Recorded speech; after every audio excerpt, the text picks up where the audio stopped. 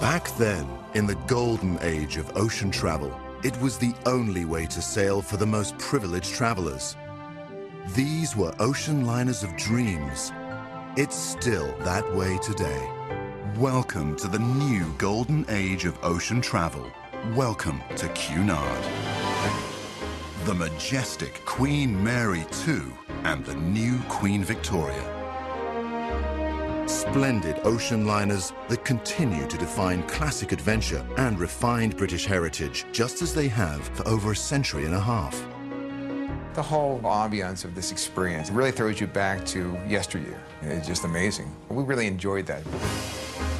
Prepare yourself for a world of elegant tradition.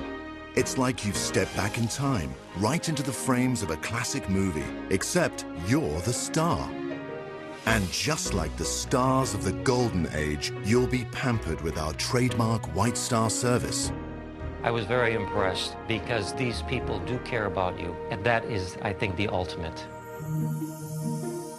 How do you like to begin your morning? Soaking in the sun or with a steaming cappuccino? However you greet the day, wait until you see what's in store for you. You can be casual, you can be elegant, you can do as little or as much as you want. It's a very enriching experience for everyone concerned. And no day is complete without afternoon tea in the Queen's Room, a Cunard tradition.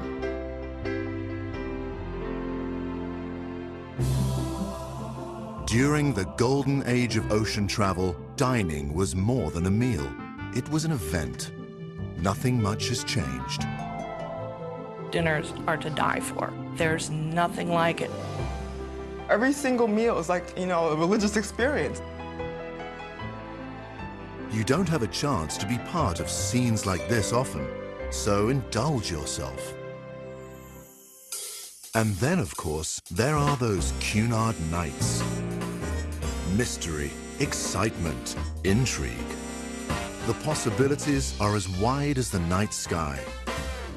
Gives you an opportunity to put on the nines, as they say, and you just sort of feel like you're in a Cinderella movie. I like that.